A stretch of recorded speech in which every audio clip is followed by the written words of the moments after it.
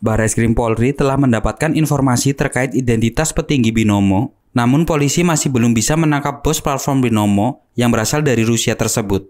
Terlebih, aplikasi tersebut legal di luar negeri dan bukan wewenang Polri. Adalah selaku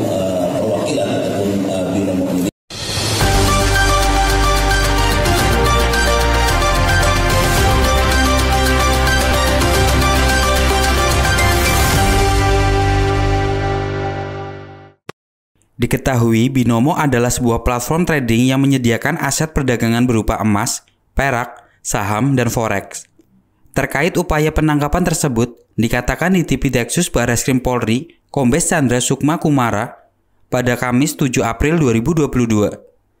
Chandra mengungkapkan, bos platform Binomo merupakan warga negara asing dan berada di luar negeri.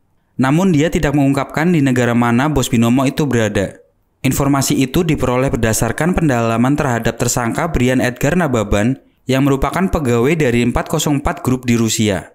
404 Group merupakan perusahaan yang berafiliasi dengan platform Binomo. Chandra juga menyebutkan pusat platform trading Binomo ada di Rusia. Menurut dia, platform trading itu masuk ke Indonesia melalui perantara tersangka Brian.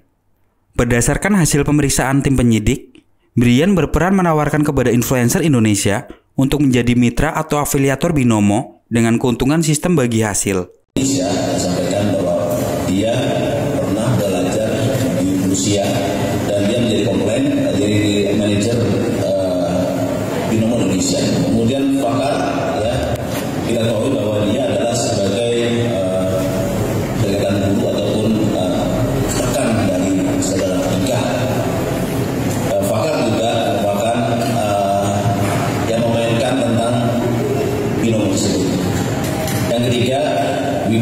adalah orang atau admin dari saudara Ika.